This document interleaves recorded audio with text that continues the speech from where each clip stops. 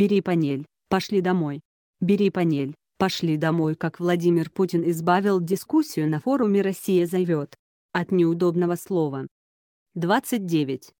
Газета «Коммерсант» номер 214 от 21 ноября 2019 года, СТР. 1. 20 ноября президент России Владимир Путин принял участие в работе ежегодного форума ВТБ «Капитал Россия зовет». Во время заседания президент России отменил понятие «панельная дискуссия», впервые поблагодарил известных и неизвестных ему людей за то, что они создали технологический щит против западных санкций, и предупредил, считает специальный корреспондент «Твердый знак» Андрей Колесников, президента Украины Владимира Зеленского, чего тому в ближайшее время не следует делать. Форум «Россия зовет». Всякий раз наступает поразительно быстро. Кажется, совсем на этот раз не ожидаешь и вот опять зовет.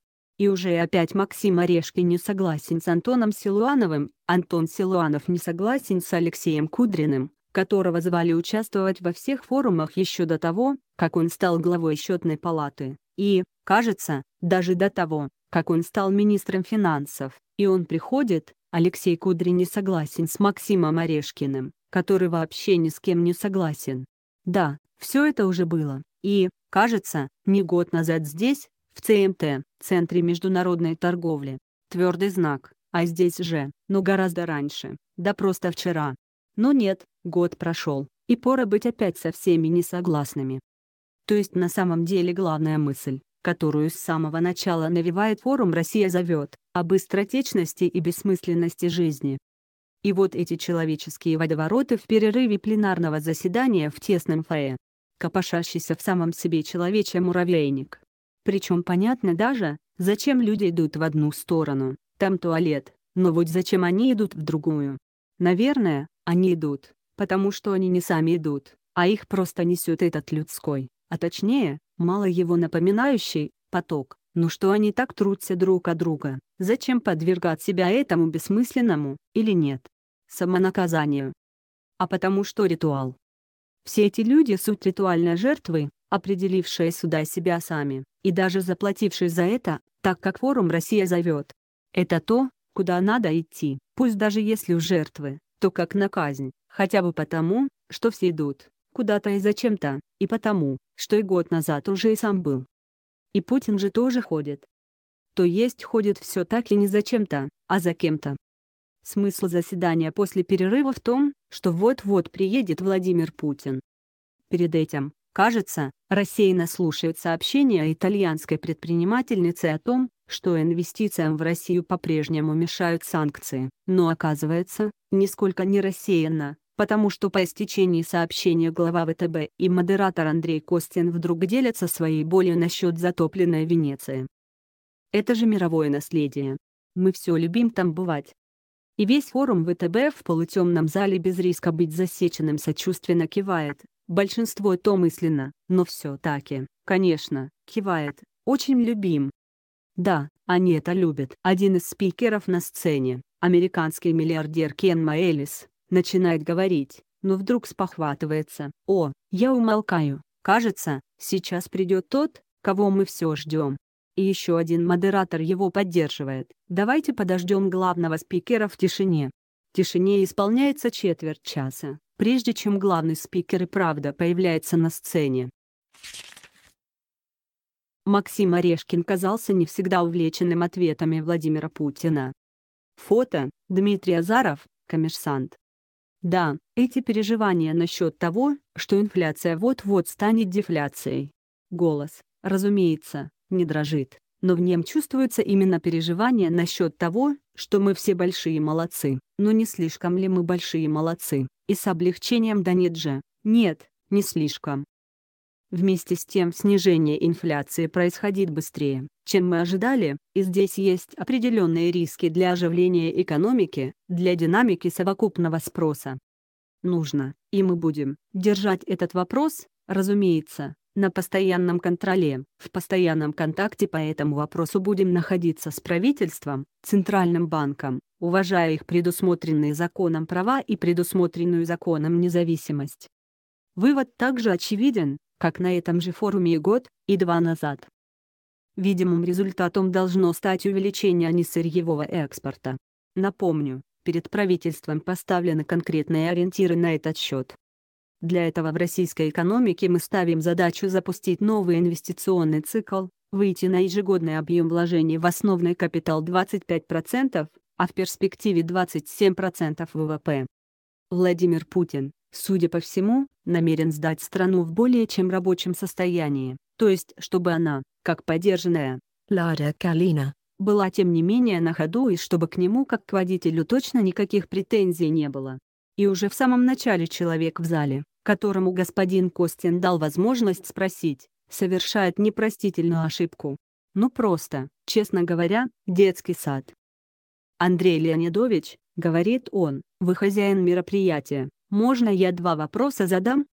Такое можно или нарочно срежиссировать, или натурально опростоволоситься. И конечно, он сразу слышит поспешный ответ. Настоящий хозяин пришел. Правда. Владимир Владимирович. Поэтому я можно помощником буду, ладно? Конечно, кому хочется с огнем играть.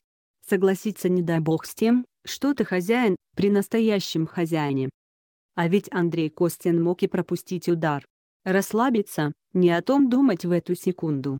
Нет, как хотите, а Андрей Костин не таков.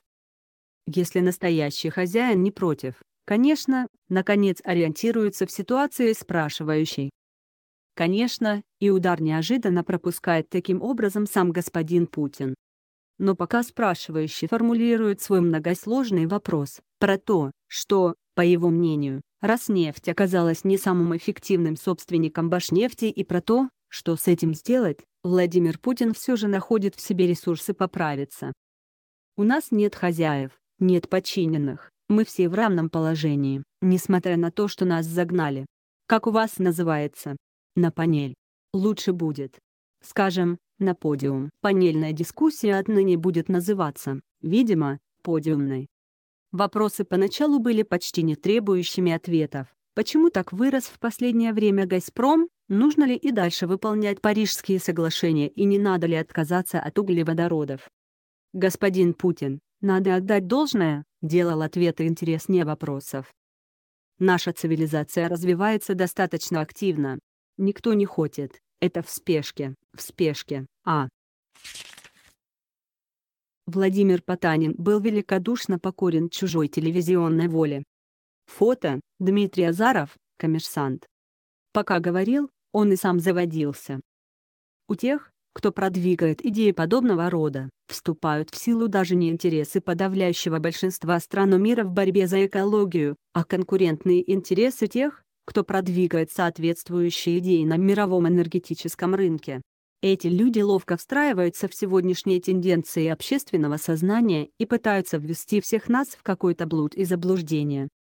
Понятие и заблуждение в сознании Владимира Путина, очевидно, соперничает с понятием блуд. Заблуждение — это, видимо, то, что уже даже заблудом, гораздо хуже него.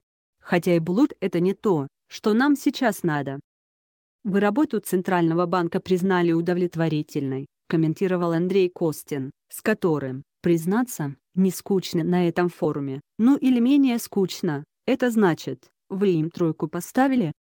Это смотря по какой системе, качал головой Владимир Путин. Может, по трехбальной. Тогда это будет отлично. А то они расстроятся потом, будут переживать. И сам начинал расстраиваться Андрей Костин. Нет, не расстроятся. Поправлял его Владимир Путин. Они там крепкие девушки и ребята. Нет, не расстроятся.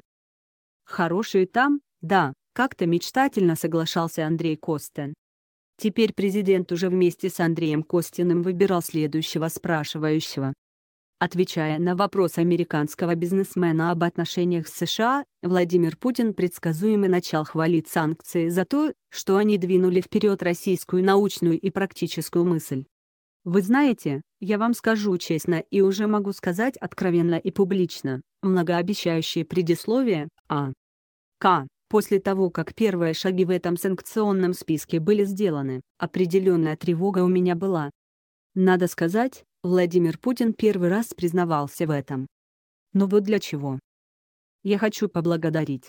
Поблагодарить всех своих коллег, неизвестных людей, которые работают каждый на своем рабочем месте, в отраслях, на производствах, в конструкторских бюро, в научно-исследовательских институтах.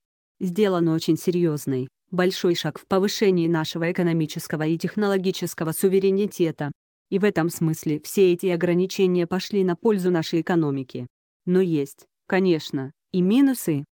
Он действительно, видимо, хотел поблагодарить всех этих людей, и от души. Но он говорил так, как будто уже что-то знал о том, что санкции наконец-то отменят и что главная беда УФ миновала. Возможно, ему и правда так сейчас кажется, вроде какие-то сигналы, что хуже уже не будет, ведь есть же.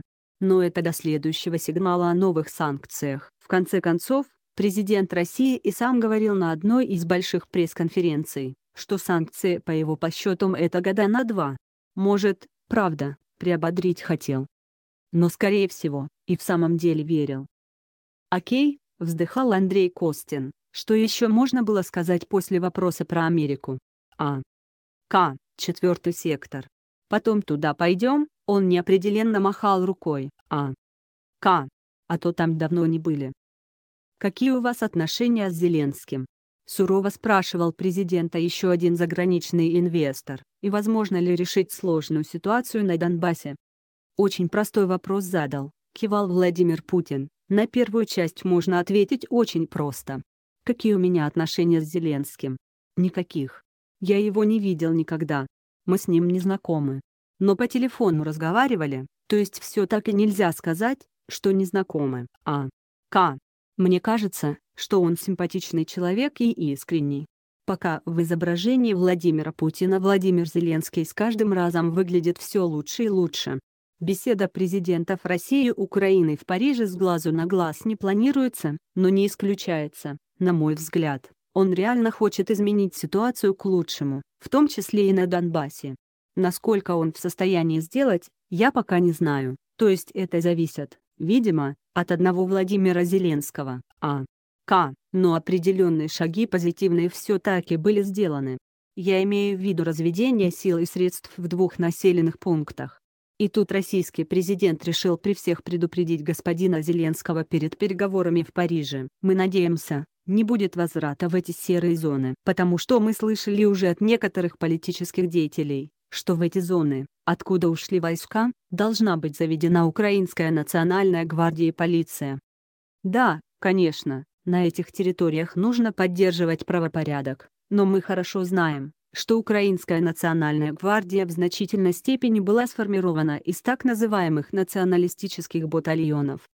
И если они назад вернутся, ничего хорошего из этого не получится, потому что тут уже будет зеркальный ответ со стороны ополчения Донецкой и Луганской народных республик. Владимир Путин выражался очень правильно, верно называл новообразование. Он мог бы сказать ополчение Донбасса, но для этих территорий важнее было услышать то, что он сказал, потом все-таки сбился на Донбасс, но тут же опять поправился. Сейчас звучат, все чаще и чаще, тезисы о том, что Минские соглашения должны быть пересмотрены. Что принятый Радой закон об особом статусе Донбасса должен быть заменен каким-то другим, на что президент Зеленский сказал, что, наверное, можно это сделать, но я, правда, не знаю каким, продолжил российский президент. Ну как мы должны оценивать такие заявления? Господин Путин как будто предупреждал коллегу не успеть наделать глупостей до встречи в Париже. Вот здесь не надо делать глупостей и еще вот здесь. Не учитывал он, может, только одного, что теперь ведь назло может сделать. Но скорее всего, не станет все же. Через несколько минут Владимир Путин сделал интересное признание. Он говорил про то, что мировой ВВП все равно растет и расти будет. Это к бабке не ходим. Это совершенно очевидный факт. Последнее замечание было адресовано, видимо, иностранным инвесторам, которые могли не понять, что же это такое, к бабке не ходим, а К. Даже несмотря на торговые войны между Китаем и США, тем более что в ближайшее время даже с учетом политического календаря в Соединенных Штатах никто там не заинтересован в обострении торгово-экономических отношений между США и Китаем. Никто не заинтересован. Выборы впереди. Стабилизировать надо ситуацию. Вот о чем думает сам Владимир Путин в связи с выборами и движением экономики. Еще одному американскому бизнесмену господин Путин долго объяснял разницу между Советским Союзом и Евросоюзом. Если коротко, она есть. Другого убеждал, что темпы экономического роста в России, в отличие от общемировых, больше, чем в этом, но меньше, чем в прошлом. Ну что они растут, они падают. Третьему втолковывал про Африку. Коллеги, я думаю, тема лета. Хорошо, тепло, слоны бегают закончено.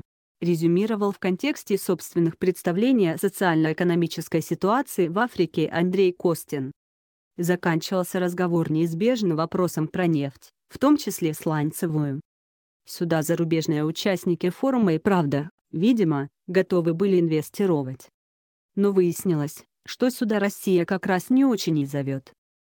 Что касается сланцевой нефти, кивнул российский президент, ну вот давайте мы подождем, когда американцы истратят деньги на новые технологии по добыче сланцевой нефти, а потом у них цап-царап. Посмотрим, мы заинтересованы в этом вообще или нет. И задешево купим. После этих слов задешево, кажется, уже не купить.